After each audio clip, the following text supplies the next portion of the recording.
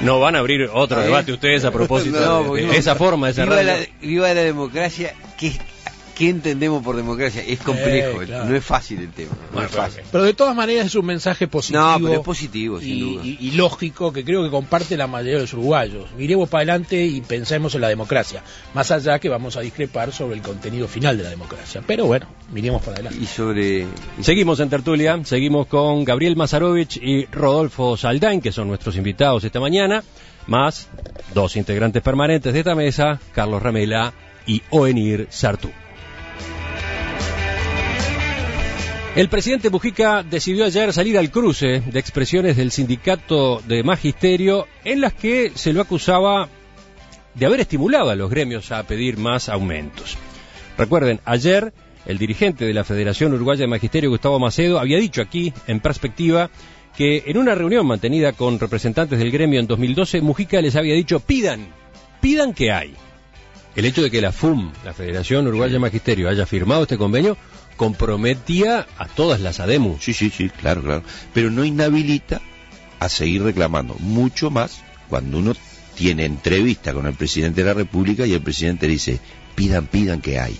O sea, a ver. ¿El presidente les dijo eso? El presidente se ponga de acuerdo en las cosas que va a hacer.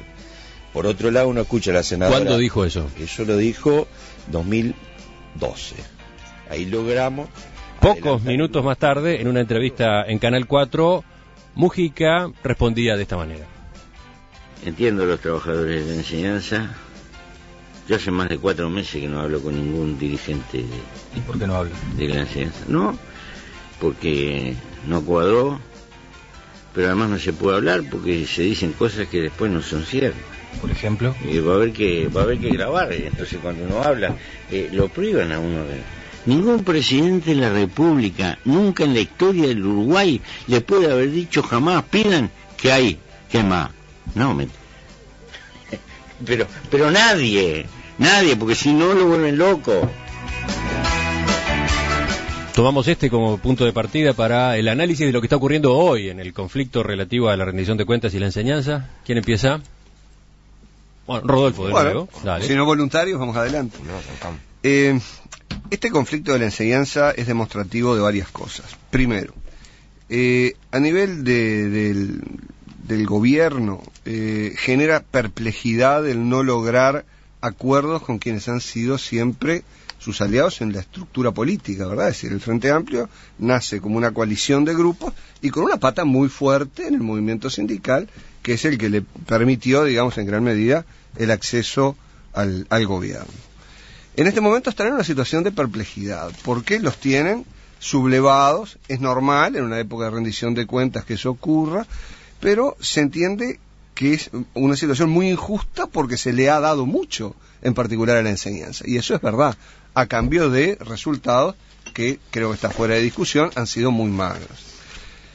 El, nivel del conflicto es el que está pasando la raya, ¿verdad? Con expulsión de dirigentes sindicales históricos con responsabilidades de gobierno. Y uno de los problemas que el propio gobierno está viviendo hoy es el que surge de las propias reglas de la negociación colectiva. Hay un convenio vigente.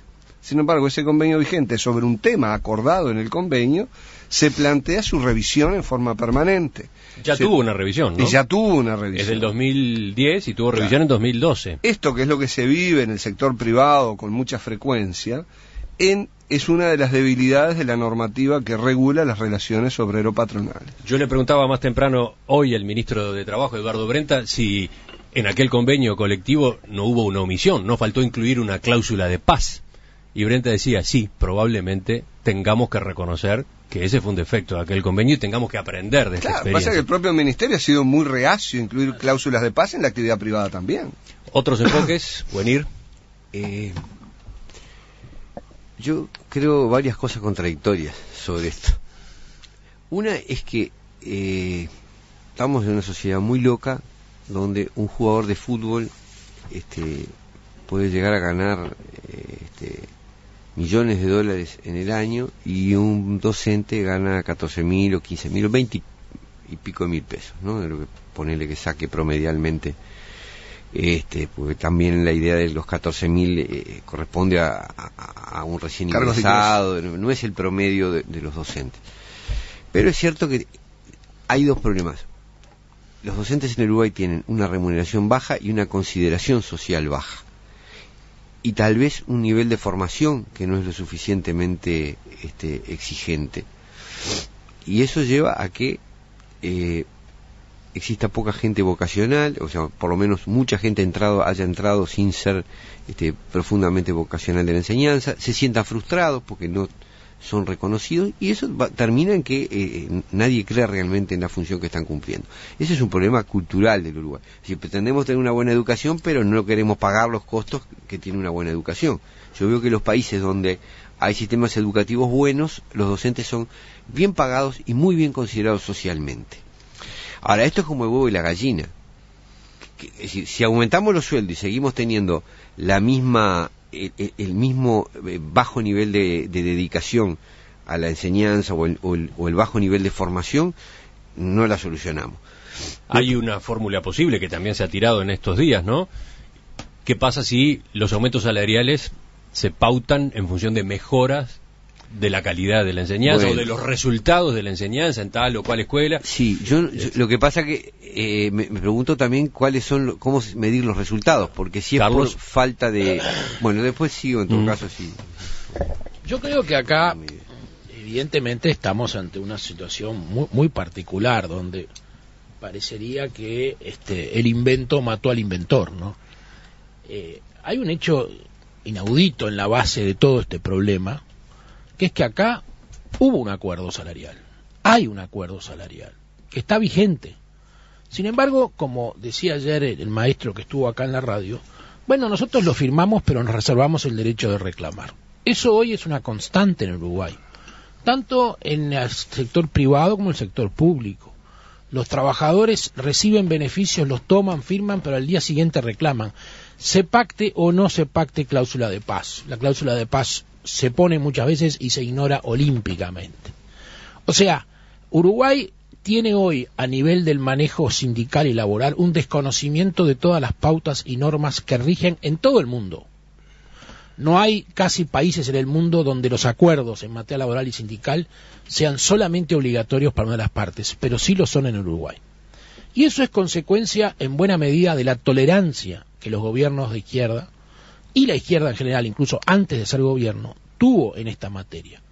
Porque estas situaciones fueron todas ellas propiciadas, acompañadas, este, bendecidas cuando ocurrieron en su momento. Entonces hoy estamos frente a una realidad de que no existe paz posible, porque a estos señores hoy, que merecen mejor sueldo, eso no cabe duda, nadie lo discute, si se les da X, el mes que viene van a reclamar por otro X más. Entonces, la realidad es que hemos destruido una base de negociación seria a nivel laboral y sindical sobre la base de que los derechos de los trabajadores son ilimitados, no tienen límite y no se ajustan a ninguna lógica y a ninguna forma. Gabriel, completamos la primera ronda. Sí, bien. Yo hoy, vamos a discrepar con Carlos seguido, ¿no? Pero eh, pero es, es, la vida. Yo eh, yo creo dos cosas. Primero en este tema. Primero, la negociación colectiva ha sido un gran avance para los trabajadores y para el Uruguay en general. Eh, se ha logrado recuperar eh, el nivel salarial y recuperar eh, una cantidad de derechos laborales que estaban absolutamente postrados. hasta, hasta que se instaló este ámbito de negociación colectiva se respetaban los derechos de una sola parte, de las patronales y de nadie más en el Uruguay. Y nos despedían por organizar sindicatos salvajemente todos los días. Y, eso se ha constituido a partir de la negociación colectiva. ¿Que hay eh, problema en la instrumentación de la negociación colectiva? Sí. Yo para no hacerme el burro y el tonto, yo estoy absolutamente en contra eh, de, la, de la expulsión de, de dirigentes sindicales en forma sumaria, como se hizo en esa asamblea y además conozco a, todos, no solo a uno, sino a todos, y soy solidario con todos ellos, para no, para no equivocarme y no creerme que, que, a, todos le digo que sí. Hay niveles salariales muy bajos y yo creo que hay un manejo también del gobierno que no ayuda en el sentido de no plantear las pautas claramente y además de salir con una posición que lo que, que lo único que ha hecho es, es echar este eh, nafta al fuego. Es lo único que han logrado por, la- por los malos manejos que han hecho de la negociación y por los malos planteos que están llevando hacia esta rendición. Ahora, ese punto que manejaba Carlos recién, el hecho de que se firma un convenio y después igual se sigue reclamando, incluso con huelgas, ocupaciones, etcétera. Bueno, yo, yo eh, vengo de un movimiento sindical o de una, de una educación sindical donde lo que se firma se respeta. Eh, eso siempre ha sido así y así me he formado. Y sé que eso, que eso hoy está cuestionado como un montón de cosas que están cuestionadas. Ahora, lo que digo es que eso no invalida la- el enorme beneficio que ha significado para un montón de gente más, sobre todo para los sindicatos más débiles, para los trabajadores más débiles, la existencia de negociación colectiva. Diez segundos cada uno para cerrar el tema. Buena enseñanza requiere buenos profesores, buenos, buenos maestros, buenos docentes requieren buenas remuneraciones. Ahora, eso también requiere niveles de excelencia en ese personal docente, cosa que yo creo que claramente no tenemos. Y por allí tenemos ejemplos como el de Finlandia, enseñanza universitaria, gran prestigio social y de los que aspiran a ser docentes, apenas un 10% logran ingresar en las universidades. Carlos. Yo no niego la, la importancia que han tenido las negociaciones colectivas. O sea, creo que es un avance y creo que deben existir en un país democrático como el nuestro, dentro de un marco de cordura, de respeto y razonabilidad. Este, lamentablemente, eh, en función de que el gobierno era el amigo y era el que le aceptaba las cosas y el que le toleraba, los sindicatos hoy actúan como el nene caprichoso que se enoja con el amigo que no le acepta ahora las cosas. O sea, el gobierno está sangrando por su herida en este tema y no tiene autoridad. No nos olvidemos incluso que en la OIT hay un planteo recogido por la OIT, porque acá hablan de los fallos de derechos humanos todos los días, pero la OIT, que es un organismo internacional que Uruguay... Pero fue integra- rechazado ahora. ¿eh? No, no, fue rechazado, no. Fue aceptado el planteo en la OIT y se le planteó a Uruguay. Y la ley que quiso redactar el propio gobierno no prosperó porque el gobierno tuvo miedo de llevarla adelante porque no puede con sus aliados, ex amigos y hoy rivales. Gabriel, tu Pa- última en este tema. Mi última en este tema es, yo reconozco que, que es necesario mejorar la educación, que no, no pasa solo por el salario de los docentes, pasa por la formación y por la calidad de la gestión y de la ejecución de las inversiones. Y, pero termino con esto de la, de la, de la- si se intentó en la OIT poner al Uruguay en la lista negra de las negociaciones colectivas, una cosa increíble cuando hay países donde matan sindicalistas todos los días, ¿no? Como Colombia, por ejemplo. Pero digo, pero, pero me, pare- me parece que se rechazó el planteo contrario a la negociación colectiva. Yo creo que acá la única posibilidad es realmente eh, mejorar la gestión de la, en la educación, en la calidad de inversión pública que hay, mejorar los salarios de los docentes y que haya entre todo, entre todos los actores una, un, un paso hacia la madurez y hacia la negociación. La última, Oenir. No, yo retomo donde termina Gabriel. Digo, el tema es cómo se hace eso. Es y yo digo, creo que no hay más remedio que este, crear un nuevo nivel de formación de docentes ¿tá? y que las superiores remuneraciones tienen que estar ligadas a la consecución de un nivel de formación superior y de un compromiso distinto con el sistema de enseñanza. Ahora, eso requiere una muy firme voluntad política de hacerlo. No la veo clara por el momento.